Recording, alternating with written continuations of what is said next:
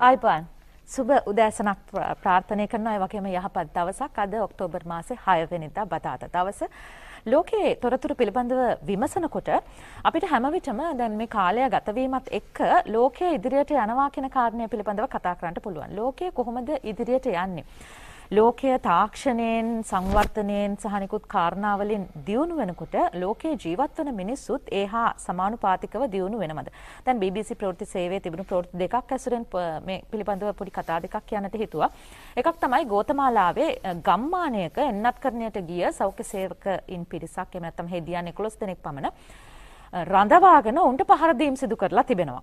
ඉතින් ඔවුන්ගේ මානසිකත්වය සහ ඔවුන් සංස්කෘතිකමය වශයෙන් කොහොමද හැඩගැසී තියෙන්නේ කියන කාරණය ලෝකයට ඉදිරියට යනකොට එන්නත් වලට ඒ වගේ ප්‍රතිචාර දක්වනකොට අපිට සිනමාව සම්බන්ධයෙන් ගත්තොත් සිනමාව විවිධ දර්ශන තලයන්හි රූපගත කිරීම කරනවානේ ගොඩබිම මුහුද යට අහස මේ හැමතැනම මේ අතර රුසියාව ඔන්න ප්‍රථම වරට අභ්‍යවකාශ මධ්‍යස්ථානයේ චිත්‍රපටයක් රූපගත කිරීම සඳහා කටයුතු ආරම්භ කළා ඊයේ දවසේදී. ඉතින් ලෝකය තාක්ෂණික සහ නිකුත් කාරණාවලින් දිගින් දිගටම ඉදිරියට යනවා දියුණු වෙනවා කියලා අපි විශ්වාස කරනවා. ඊට සාපේක්ෂව මිනිසුන් කොයිතරම් දියුණු වෙනවාද? ඒ කාරණය පිළිබඳවයි අපි මුලින්ම මතක් කරේ. අද දවසේදී සිව්දෙස ගෙනෙන්නට සූදානම්ෙන් සිටිනවා ප්‍රවීණ විදේශ විත්ති විචාරක මාධ්‍යවේදී විජේ දිසානායක. ආයිපන් සුබ දැසනක්. සුබ දැසනක්. අද දවසේදී ප්‍රවෘත්ති අපි තෝරාගෙන තිබෙනවා ලෝකේ කතාබහට ලක්වන ප්‍රධාන ප්‍රවෘත්තීන්. ඉතින් මේ අතරින් අපි ප්‍රමුඛ අවධානය අද දවසේදී යොමු කරන්නේ දේශගුණික විපර්යාසය දෙසට. දේශගුණික විපර්යාසය මේ වෙනකොට අපි වසංගත සම්බන්ධයෙන් කතා කළත් අපිට නොපෙනෙන බලවේගයක් විදිහට විවිධ ප්‍රතිවිපාක ලෝකේ රටවල් වලට ලබා දෙමින් සිටින අවස්ථාවක් මේ. එහෙමනම් මේ කොවිඩ් වසංගතයත් හමුවේ දේශගුණික විපර්යාසයන් කෙරෙහි තියෙන අවධානය අඩු වෙනවද? එහෙම නැත්නම් ඉදිරියේදී දේශගුණික විපර්යාසයන්ගෙන් රට ලෝකය මුදවා ගන්නට මොනවද ගත යුතු ක්‍රියාමාර්ග? ඒ ගැන මුලින්ම අපි අවධානය යොමු කරමු.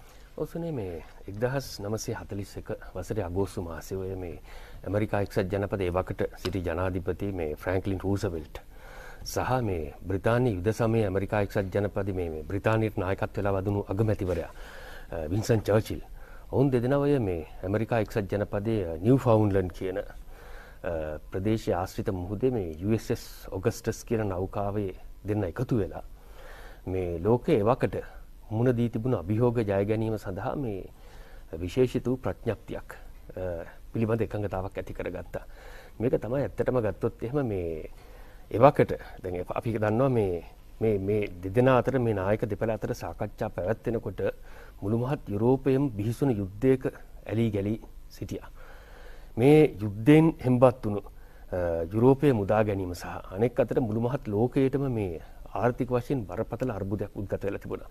මේ සඳහා වුන් ඇති කරගත්ත එකඟතාවය තමයි මේ අත්ලාන්තික ප්‍රඥප්තිය කියලා කියන්නේ. ඇට්ලැන්ටික් චාර්ටර් කියලා අපි ඉංග්‍රීසියෙන් හඳුන්වනවා.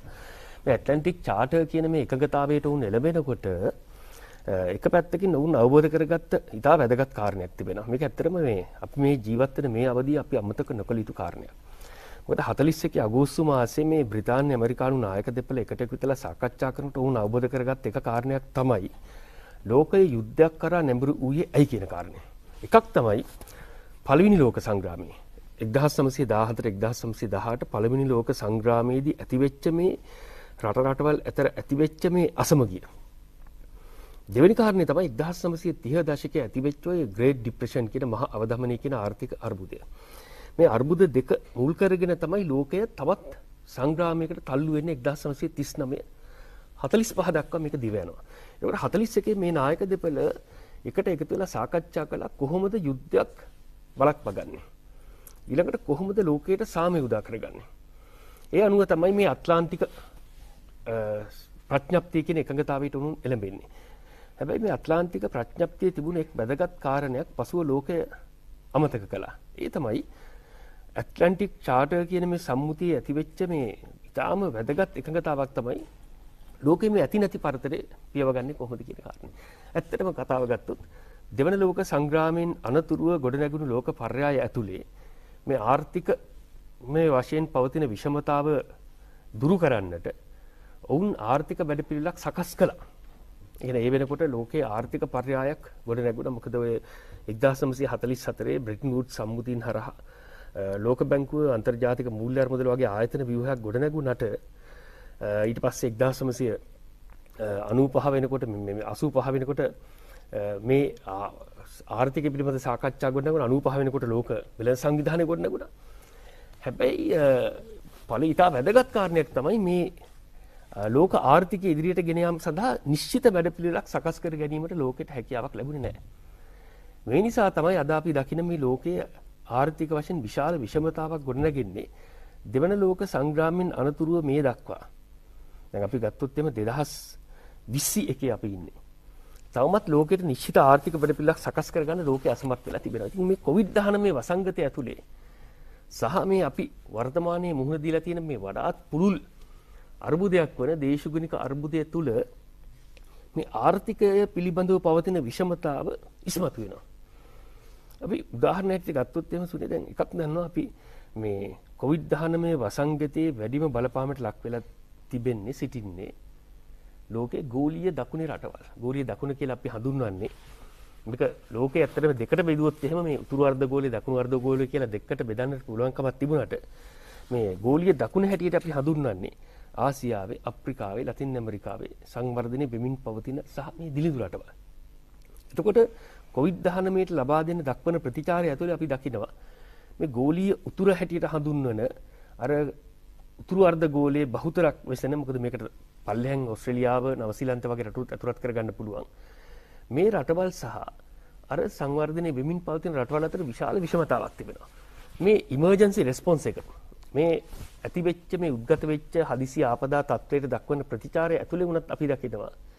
මේ කලාප දෙක මේ අර්බුදයට මුහුණ දෙන්නේ මේකට ප්‍රතිචාර දක්වන්නේ දෙආකාරයකට. මොකද උතුරු අර්ධගෝලීය රටවලට ඒ රටවලට නවීන විද්‍යාව තාක්ෂණික පහසුකම් තියෙනවා. ඔවුන් එන්නත් ඉතාම ඉක්මනින් නිපදුවා. ඇත්තටම දැන් මාස හයක් වගේ කාලයක් තුල එන්නත් ගණනාවක් ලෝකයේ මේ ජනතාවට මේ රෝගී තත්ත්වයට මුහුණ දීම සඳහා එන්නත් නිපදවීමට හැකියාවක් ලැබුණා. මොකද දැන් මාස 6ක් 7ක් තමයි වෙන්නේ හරියට ගත්තොත් මේ එන්නත් සියල්ලම මේ ඇඩ්මිනිස්ටර් කරනවා කියලා කියන්නේ මේකට අනුමැතිය ලබා දීලා. හැබැයි අපි දකිනවා උතුරු අර්ධගෝලීය රටවල බහුතරයක් ජනතාව මේ වෙන විට එන්නත් කරන්නට ලක් වෙලා තිබෙන අතර ඔවුන් දැන් තුන්වෙනි එන්නතක් පිළිබඳවත් කතා කරනවා. හැබැයි ගෝලීය දකුණේ රටවල අප්‍රිකාව වගේ කලාපවල තවමත් මුළු ජනගහනයෙන් 102ක්වත් එන්නත් කරන්නට ලක් කරලා නැහැ. එතකොට මේකේ පවතිනවා විශාල විෂමතාවක්. ඊළඟට ඔය දේශගුණික අර්බුදය. අපි මේ කතා කරන මාතෘකාවට යමු වුණොත් එහෙම දේශගුණික අර්බුදයට ප්‍රතිචාර දැක්වීමේදීත් අපි දකිනවා දැන් ඔය 2015 වසරේ ඇති කරගත්ත පැරිස් සම්මුතිය තුලින් ලෝකයේ බලවත් කාර්මික රටවල් ප්‍රතිඥාවක් ලබා දුන්නා. මේ දේශගුණික විපර්යාසයෙන් ඇතිවන බලපෑමේ වැඩිම පීඩාවට පත්වෙච්ච දිලිඳු රටවලට වාර්ෂිකව ඩොලර් බිලියන 100ක මුදලක් ලබා දෙන්නට. අද වෙනකම් මේ ප්‍රතිඥාව ඉටු කරන්නට මේ රටවල් අපොහසත් වෙලා තිබෙනවා. ඉතින් අපි දන්නා ඉතා මෑතකදී මේ පසුගිය අප්‍රේල් මාසේ මගේ මතකයේ හැටියට ඇමරිකා එක්සත් ජනපද ජනාධිපති ජෝ බයිඩන් සහ බ්‍රිතාන්‍ය අගමැති බොරිස් ජොන්සන් එකට එකතු වෙලා අලුත් ප්‍රඥප්තියක් පිළිබඳ එකඟතාවකට එළමුණ ඒ තමයි මේ නිව් ඇට්ලන්ටික් චාර්ටර් කියන එක. නව අට්ලාන්තික ප්‍රඥප්තියක් පිළිබඳව මේ බ්‍රිතාන්‍ය ඇමරිකානු නායක දෙපළ අතර පොදු එකඟතාවක් ඇති වුණා. හැබැයි අපි දන්නවා මෑත බකවානුව තුළ ලෝකනායකයන් G7 සමුළුවේදී සානෙක් අතට බයිපාර්ශවික ද්විපාර්ශවික අනෙක් අතට මේ බහුපාර්ශවීය සමුළු ඇතුලේ ලෝකනායකයන් අතර මේ වර්තමානයේ අපි මුහුණ පා සිටින අර්බුදවලට විසඳුම් සෙවීම සඳහා යම් යම් එකඟතාවක් නැති වුණාට යම් යම් ප්‍රකාශන නිකුත් කළාට අද නිශ්චිත වැඩපිළිවෙලක් ලෝකයට තිබෙන බවක් පෙනෙන්නට නැහැ. ඒ නිසා අද ලෝකයට ඇත්ත වශයෙන්ම අවශ්‍යයි මේ කොවිඩ්-19 වසංගතයෙන් ඇතිවුණු බලපෑම හමුවේ ගත යුතු ක්‍රියාමාර්ග. මේ සඳහා මේ ඇතම් විතතුන් යෝජනා කරනවා මේ කොවිඩ් ප්‍රඥප්තියක් කියන එකක්. කොවිඩ් චාර්ටර් කියන මේ කොවිඩ්-19 වසංගතයෙන් නැතිවෙච්ච බලපෑම හැබැයි මේකට හුදෙක් අයත් විය යුත්තේ කොවිඩ් වසංගතේ පමණක් නෙවෙයි. අද අපි බැලුවොත් එහෙම ලෝකය ඊටාම දරුණු අර්බුද ගණනාවකට මුහුණ පාස් සිටිනවා. ඇත්තටම කොවිඩ්-19 වසංගතය කියන එක මේක සෞඛ්‍ය අර්බුදයක්. නමුත් මේක සෞඛ්‍ය අර්බුදයේ විසින් ගත කරපු සමාජ දේශපාලන ආර්ථික අර්බුද ගණනාවක් තිබෙනවා. හැබැයි අපි බැලුවොත් එහෙම අද අපේ මුළු මහත් මානව සමාජයේම මුහුණ පා සිටින පොදු අර්බුදය තමයි මේ ක්ලයිමේට් ක්‍රයිසිස් කියලා හඳුන්වන දේශගුණික අර්බුදය. මේ දේශගුණික අර්බුදයට විසුම් සෙවීම සඳහා ලෝකයේ කිසියම් නිශ්චිත වැඩපිළිවෙලකට ඉදිරි වකවානු තුළ එළඹීමට නොහැකි වුණොත් ලෝකයට ඉතාම දැවන්ත අභියෝගයට මානව සමාජයට මුහුණ දීමට සිදුවනවා. අපි දන්නවා 2015 අවුරුද්දේ පැරිස් සම්මුතිය මේ පැරිස් සම්මුතිය මූලික වශයෙන් ගත්තොත් එහෙම කරුණු කාරණා කීපයක් තිබෙන එකක් තමයි ගෝලීය උෂ්ණත්වය ඉහළ යාම පූර්ව කාර්මික අවධියේ පැවති මට්ටමට වඩා සෙල්සියස් සංචක දෙකට වඩා අඩු මට්ටමක පවත්වා ගැනීම. හැබැයි මෑතක් වන විට ලෝකයේ බොහෝ විද්‍යාඥයන් පොදුවේ පෙන්වා දුන් කාරණයක් තමයි දැනටමත් අපි යන විදිහට ගියොත් එහෙම සෙල්සියස් අංශක මේ සතවර්ෂය අවසානයේ වීමට පෙර සෙල්සියස් අංශක දෙක ඉක්මවර. ඇතැම් විට 3.5ක පමණ උෂ්ණත්වය ඉහළ යන පසුබිමකට අපි මුහුණ දීමට සිද්ධ වෙනවා කියන කාරණය. දෙවෙනි කාරණය තමයි මේ රටවල් පොදු වැඩපිළිවෙලක් පිළිබඳව එකඟතාව පළ කරලා වසර 5කට වරක් මේ ගෝලීය උෂ්ණත්වය ඉහළ යාම පිටු දැකීම සඳහා පොදු වැඩපිළිවෙලකට වුන් කිසියම් ආකාරයක මේ තම තමන්ගේ ජාතික සැලසුමක් ඉදිරිපත් කිරීමට ප්‍රතිඥාවක් ලබ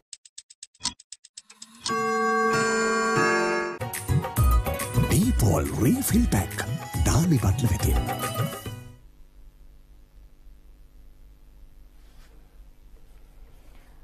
හොඳයි. තවමත් ඒ ප්‍රතිඥාවන් ඉටු කරන්නට අසමත් වෙලා තිබෙනවා. දේශගුණික විපර්යාසය සම්බන්ධයෙන් අනාගතයේ ප්‍රශ්නාර්ථයක් පමණක් ඉතුරු කරමින් අපි මීළඟට යන ඇෆ්ගනිස්තානයට අගෝස්තු මාසයේදී ඇෆ්ගනිස්තානයේ බලය තලිබාන් සංවිධානය විසින් අත්පත් කරගත්තා. උන් රජයක් පිහිටෙව්වා. දැන් ලෝකය තුල අනිකුත් රටවල් වලින් කොයි වගේ ප්‍රතිචාරයක්ද මේ ඇෆ්ගනිස්තානයේ පාලනය සම්බන්ධයෙන් පවතින්නේ.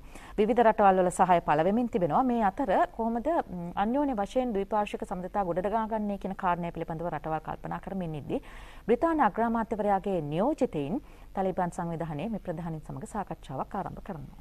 ඔසන අපි මේ වර්තමානයේ ජීවත් වන්නේ අන්තර්ජාතික පද්ධතියක් ඇතුලේ. අන්තර්ජාතික පද්ධතිය කියන අපි ඉංග්‍රීසියෙන් ඉන්ටර්නැෂනල් සිස්ටම් කියලා.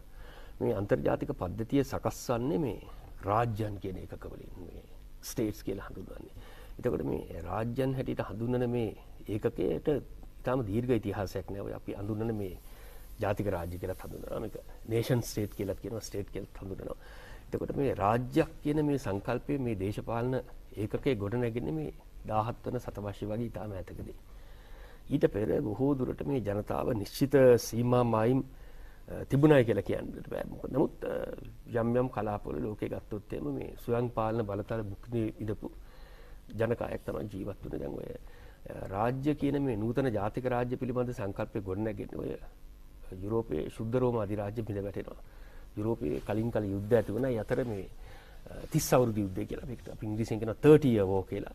30 අවුරුදු යුද්ධෙන් පසුව මේ යුරෝපයේ විවිධ කලාපවල ජීවත් වුණු රජවරු කුමාරවරු එකට එකතු වෙලා මේ ඇතමිට 300ක් විතර ප්‍රාදේශීය පාලන පාලකයෝ එකට එකතු වෙලා ඇති කරගත්ත එකඟතාවක් මේක තමයි අපි හඳුන්වන්නේ වෙස්ට්‍රේලියන් ට්‍රීටිස් කියලා. වෙස්ට්‍රේලියානු සම්මුතින් කියලා 1648. මේ 1648 දී ගොඩනගා ගත්ත මේ ජාතික රාජ්‍ය ගැන සංකල්පය ඇතුලේ තමයි අද අපි ජීවත් වෙන්නේ. ඉතින් කෙනෙකුට තර්ක කරන්න පුළුවන් කෙතෙක් දුරට අපි අද ජීවත් වෙන මේ ජාතික රාජ්‍ය කියන සංකල්පය අදට ගැලපෙනවද කියන එක. මොකද මේ ජාතික රාජ්‍ය ගොඩනැගීමේ ක්‍රියාවලිය ඇතුලේ අපි දන්නවා විවිධ ප්‍රශ්න අර්බුද නිර්මාණය වුණා. ඇතැම් ජාතීන්ට, ඒ කියන්නේ ජාතික රාජ්‍ය කියලා කියන්නේ නේෂන් කියලා කියන්නේ ජාතියක්. එතකොට ස්ටේට් කියලා කියන්නේ රට බහුමික ප්‍රදේශයක්. හැබැයි අපි දන්නවා මේ ජාතික රාජ්‍ය ගොඩනැගීමේ ක්‍රියාවලිය ඇතුලේ ඇතැම් ජාතීන් මේ රාජ්‍යයකට අයත් නොවන ජාතීන් මේ සිස්ටම් එකට මේ ක්‍රමයට පිටින් ඔවුන්ට ඊනට සිද්ධ වුණා. කුර්දිවරු ගත්තොත් එම ඔය තුර්කිය ආශ්‍රිත ප්‍රදේශය ගත්තොත් එම පලස්තීනයට තවමත් ජාතියක් නැහැ. මේ ආකාරයට විවිධ ජාතින් ඉතිරි වුණා මේ ක්‍රමයට පරිබාහිරව. ඒ නිසා තමයි මේ අර්බුදකාරී තත්ත්වයන් ගණනාවක් පැන නැගුණේ. දෙවෙනි කාරණේ තමයි යුරෝපයේ ওই සිටියම ගොඩනැගෙනකොට මේ යුරෝපයේ තමයි අර යුරෝපයේ ජාතික රාජ්‍යයන් ගොඩනැගුණා. පසුවට මේ ආසියාවේ අප්‍රිකාවේ ලතින් ඇමරිකාවේ මේ රට රටවල් වෙන් කරනකොට අර යුරෝපා මේ අධිරාජ්‍යවාදීන් තමයි ගොඩක් වෙලාවට මේ අර සෙසු කලාපවල රාජ්‍යන් නිර්මාණය කිරීමේ ක්‍රියාවලියට සම්බන්ධ වුණේ. මේකේ ප්‍රශ්න ගණනාවක් ඇති වුණා දැන් අපි ඔය කතා කරන්නේ නැහැ ඇෆ්ගනිස්තානේ ගත්තොත් එහෙම අපේ උපමහද්වීපයේ බෙදලා වෙන් කරෙත් බ්‍රිතාන්‍ය අධිරාජ්‍යවාදීන්. ඔවුන් ඉන්දියාව පකිස්ථානින් වෙන් කළා. ඇෆ්ගනිස්ථානින් පකිස්ථානය වෙන් කළා. ඉන්දියාව සහ චීනය අතර අර්බුදකාරී දේශ සීමාවක් නිර්මාණය කරා. කාශ්මීරයේ බෙදාවෙන් කිරීමේ ක්‍රියාවලිය ඇතුළේ විශාල වශයෙන් අර්බුදයක් අද දක්වා ඉන්දියාව පකිස්තානයේ අවස්ථා තුනකදී පමණ යුද වැදිලා තිබෙනවා මේ ඉන්දු පාකිස්තාන යුද්ධ ගත්තොත් මේක ඇත්තට මේකේ අවාසනාවන්ත ප්‍රතිඵලයක් තමයි අද අපි උපමහද්වීපයේ රටවල් මුහුණ පාන මේ අභියෝග. ඒකට ඇෆ්ගනිස්තානය අපි බැලුවොත් එimhe ඇෆ්ගනිස්තානය කියන රටට ඊටාම දීර්ඝ ඉතිහාසයක් තිබෙන වසර 2000ක පමණ ඔය ඊටාම ඇත්තටම ගත්තොත් මීට අවුරුදු 2000කට පමණ පෙර ඔය සේද මාවත ආශ්‍රිතව සිල්ක් රූට් කියලා අපි හඳුන්වන්නේ සේද මාවත ආශ්‍රිත ඇත්තටම මේක මේ බොහොම ශිෂ්ට සම්පන්න ජාතියක් ජීවත් වුණු රටක් තමයි ඇෆ්ගනිස්තානය කියලා හඳුන්වන්නේ. හැබැයි ඇෆ්ගනිස්තානයේ අද මුහුණ පාන බොහෝ ගැටලුවලට හේතුව තමයි මේ අධිරාජ්‍යවාදී බලවත් රටවල් අනුගමනය කර ක්‍රියාකලාප එක පැත්තකින් සෝවියට් දේශය එවකට සෝවියට් දේශය 1979 වසරේ. එවකට මේ සෝවියට් සංගමයට පක්ෂපාතී ආණ්ඩුව ආරක්ෂා කර ගැනීම සඳහා සෝවියට් හමුදා ඇෆ්ගනිස්තානයේ යෙදවීම සහ මේ හමුදා පළවා හැරීම සඳහා ඇමරිකා එක්සත් ජනපදය මුදහිදීන් කණ්ඩායම් ඇෆ්ගනිස්තානයට යෙදවීම මේක ප්‍රතිඵලයක් හැටියට 79 වසරේ සිට. ඔය 89 සෝවියට් හමුදා ඇෆ්ගනිස්තානෙන් පිටව යනතෙක් ඇෆ්ගනිස්තානයේ මේ ජිහාඩි යුද්ධයක් පැවැත්වුණේ. අද වෙනකොට ලෝකයේ සාමීත ආරක්ෂාවට විශාල තර්ජනයක් එල්ල කරන මේ ත්‍රස්ස කණ්ඩායම් වල මේ නිජබිම් බවට පත්වුනේ ඇෆ්ගනිස්තානයේ. අනතුරු අපි දැක්කා 1994 තමයි ඔය ඇෆ්ගනිස්තානයේ මේ තාලිබාන් කියන ව්‍යාපාරයේ බිහි වෙන්නේ 96 වුන් බලයක් පත් කරගන්නවා 2001 වසර වනතෙක් ඔවුන් ඇෆ්ගනිස්තානය පාලනය කරනවා. සැප්තැම්බර් 11 ඇමරිකා එක්සත් ජනපදයට එල්ල වුණු ත්‍රස්ස ප්‍රහාරයට පිළිතුරු වශයෙන් ඇමරිකාව සිදු කළ යුද මැදිහත් වීමේ ප්‍රතිඵලයක් හැටියට තාලිබාන් පාලනය විඳ වැටෙනවා. මේ වසර 20ක කාලයක් ඇමරිකාව ඇෆ්ගනිස්තානයේ රැඳී සිටිනවා. ඇතැම් අවස්ථාවල ලක්ෂයකට වැඩි හමුදා බටපිරිසක් ඇෆ්ගනිස්තානය තුළ රඳවා සිටිය හැබැයි ඇමරිකාවට ආපසු වතාවක් ඇෆ්ගනිස්තානය අතහරින්නට සිද්ධ වන්නේ දයිවෝයේ සරදමකට වගේ තලේබාන් සංවිධානයටම පාලන බලතල ලබා දීලා අගෝස්තු මාසේ අපි දැක්ක 15 වෙනිදා අපි ඒක වාර්තා කරා. තලේබාන් සංවිධානයට ඇෆ්ගනිස්තානයේ පාලන බලය ලබා දීලා ඇමරිකා එක්සත් ජනපද හමුදා පිටව යාම තුළ ඇතිවෙච්ච ව්‍යාකූලත්වය. එතකොට අර මං මුලින් මතු කළ කාරණේ මේ නූතන ජාතික රාජ්‍යයකට ඉතා වැදගත් පූර්ව කොන්දේසියක් තමයි අන්තර්ජාතික පිළිගැනීම. ඉතින් ලෝකයේ මේ රටවල් 200ක් විතර තිබුණා එක්සත් ජාතීන්ගේ සංවිධානයේ රටවල් 193ක් තිබෙනවා. හැබැයි ඇෆ්ගනිස්තානයේ තාලිබාන් පාලනය පිළිගැනීමට තවමත් මේ අන්තර්ජාතික ප්‍රජාවේ සමාජිකයන්ගෙන් අති බහුතරයක් ඉදිරිපත් වෙලා නැහැ. මේ පසුබිම තුළ තමයි බ්‍රිතාන්‍ය මේ අගමැතිවරයාගේ විශේෂ නියෝජිතවරයෙක් බොරිස් ජොන්සන් අගමැතිවරයාගේ විශේෂ නියෝජිතවරයෙක් මේ වන විට ඇෆ්ගනිස්තානයේ තාලිබාන් සංවිධානය සමග සාකච්ඡා පවත්වනවා. ඇෆ්ගනිස්තානයේ මේ පවතින අර්බුදකාරී තත්ත්වයට විසඳුමක් සැවීම සඳහා මම හිතන්නේ ඇත්තටම අපිට කියන්න බෑ මේ ඇමරිකා එක්සත් ජනපදයේ මේ කලාපයේ තවදුරටත් ඇඳී සිටිය යුතුයි කියන තර්කයට පදනමක් නැහැ. මොකද පිටස්තර පාර්ශවයකට වෙනත් කලාපයකට ඇතුළු වෙලා බලහත්කාරයෙන් මේ රටේ Tamanට අවශ්‍ය විදිහට හැඩගැස්සීමට අයිතියක් නැහැ. හැබැයි ඇෆ්ගනිස්තානයේ ජනතාවට ජනවරමක් ලබා දී යුතුයි. මොකද රටක පාලකයන් පාලන තන්ත්‍ර ජනතා නියෝජිතන් තෝරා පත් කරගත යුත්තේ ඒ රටේ ජනතාව විසින්. නමුත් ඇෆ්ගනිස්තානයේ ඇතිවෙච්ච තත්ත්වය මොකද විදේශ හමුදා රැඳී සිටිමින් දශක දෙකක කාලයක් මේ ඇති වුණු මේ ව්‍යාකූලත්වයේ තුල වෙනත් කණ්ඩායමක් රටේ පාලන බලතල අත්පත් කරගත්තා. හැබැයි දැන් අන්තර්ජාතික ප්‍රජාවට වගකීමක් තිබෙනවා.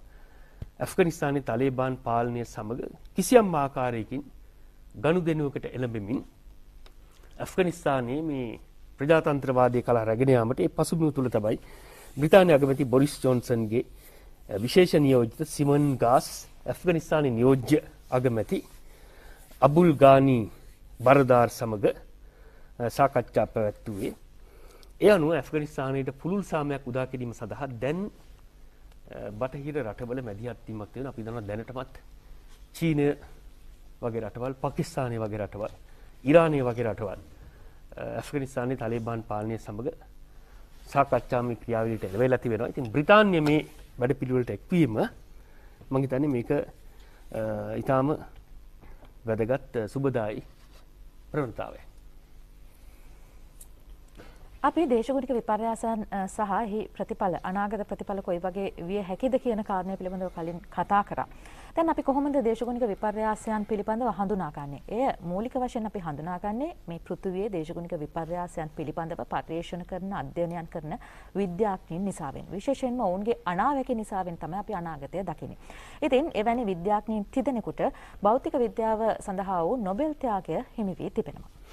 ඇල්ෆඩ් නෝබෙල් මේ ඇතිකරපු මේ නොබෙල් තියාග වැඩ පිළිවල. ඇතරම ගතොත් මේක මේ ලෝක යම්යම් කාරණා පිළිබඳ මේ නොබෙල් තියාග වැඩ පිළිවෙල පසුපස යම්යම් අරමුණු පවතින බවට චෝදන ඇතිබන තැන ඉතාම මේ අතර තිබෙන ඉතාම බරපතල චෝදනාවක් තමයි මේ නොබෙල් තියා සාමතියාග කමිටුවේ සභාපතිවරයාම තමයි මේ ලෝකේ බලගතුම යුද සන්ධානය වන නේටෝ සංවිධානය ප්‍රධානී හැටියට කටයුතු කරන්න.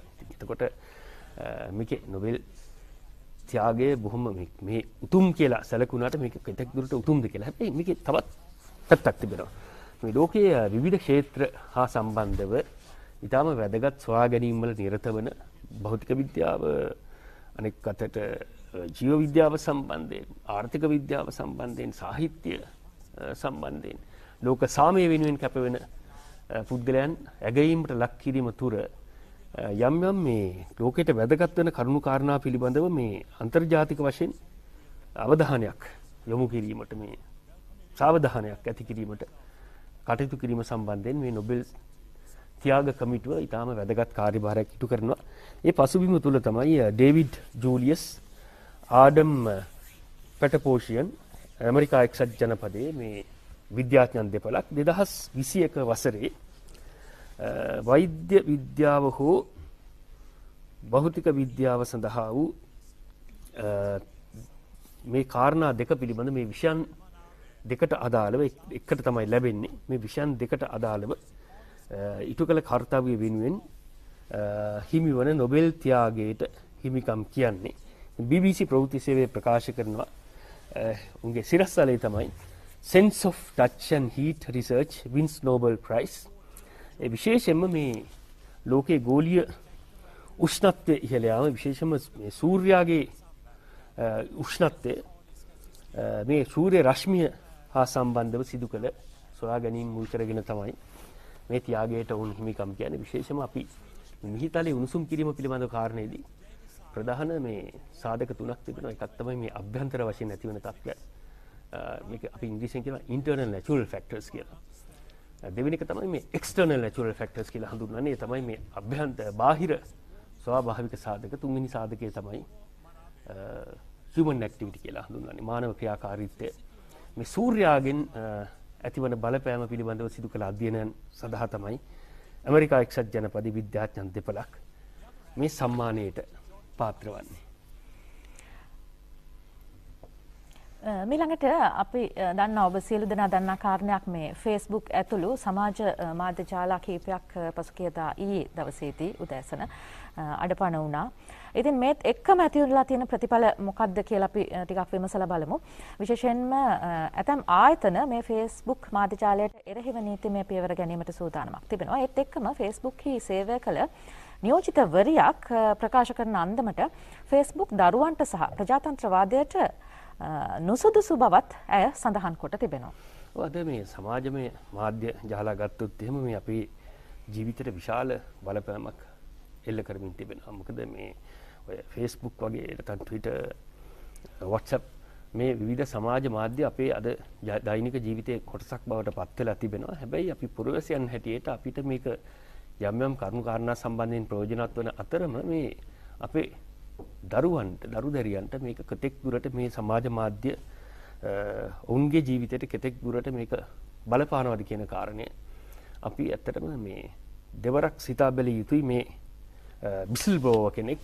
මේ ඉදිරිපත් කළ එමත් නැත්තම් මේ විසිල් බෝව කෙනෙක් කියලා කියන මේ යම් කාරණයක් පිළිබඳව මේ රහස්‍ය අභ්‍යන්තර තොරතුරු ආයතනයක නැත්තම් කිසියම් පද්ධතියක ඉඳලා එළියට අනාවරණය කරන පුද්ගලෙක් ෆේස්බුක් සමාගමේ හිටපු නියෝජිත යකු වන ෆ්‍රැන්සස් හිවගන් ඇමරිකා එක්සත් ජනපදේ සෙනෙට් මණ්ඩලේ උප කමිටුවක් සමඟ පැවති සාකච්ඡාවකදී අඟහරුවාදා දිනේදී ප්‍රකාශ කළා මේ ෆේස්බුක් නිෂ්පාදන දරුවන්ට අහිත කරයි සහ සමාජය අතර කිසියම් ආකාරයක විභේදනයක් නිර්මාණය කරන බව.